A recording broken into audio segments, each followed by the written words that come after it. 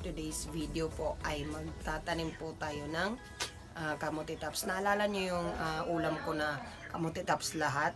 Um, pasensya na ha, sinisipon po ako at saka hindi pa nawawala yung ubo ko. So, yung kamote tops po lahat ang ulam ko. Um, salad na kamote tops at saka adobong kamote tops. Kasi yung mga alubati tops, kasi yung mga alubati tops, mga ah, binigay ko po sa mga in-laws ko ah, para gulayin nila. So, ang naiwan sa akin is yung kamote tops. Ngayon, yung mga stems, ito, ito yung mga stems niya. Meron po siya mga stems. Hindi ko po tinapon kasi itatanim ko po ito sa pot na binili ko. Di ba may binili ako na ganito na pot. Yan, ah, magtatanim ako doon. Tapos yung sobra niya, sobra ng mga stems, at saka yung alubati na stems, kasi hindi ko rin tinapon, itatanim natin doon sa bakanting lote ng aking mother-in-law. And para kuan, para mm, meron ding gulay.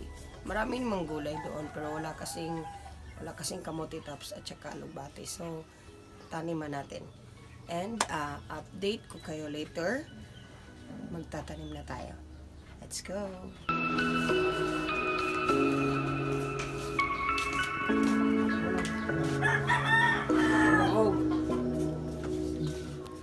Yung display.